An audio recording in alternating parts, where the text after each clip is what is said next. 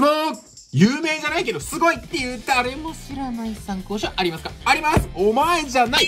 これ何これ？まずですね、これ、秘蔵の参考書でございますよ。まず問題がめっちゃ特殊。見てみて。ほら、問題かなりめっちゃマニアック。え、こんな参考書なんでやんのって思うかもしれへんやんか。でもこれのすごいところはですね、こういうマニアックな細かい問題が出るんですよ。つまり、英語、感覚で訳していると、賞味、この問題は解けないんですよね。どういうことかというと、皆さん英語が一定できるようになると、感覚で英語を読み出しますよね。それを厳しく指摘してくるのがこの参考書なんです。文法的に説明する。ここの英文の役割は何ですか？細かーいことが聞かれます。文法的な時間も細かく聞かれます。つまり、少しでも感覚的に、つまり非論理的に英語を読んでいるやつを縛いてくれる参考書なんですよね。ちょっと英語ができるよとか思い出した中級者がやると、あ、俺って全然英語非論理的に読んでたわ、感覚で読んでたわ、ちゃんと論理的に読もうとなって、なんかちょっと難しい英文解釈だったらこけるんだよなって人は万事解決します。やってみて。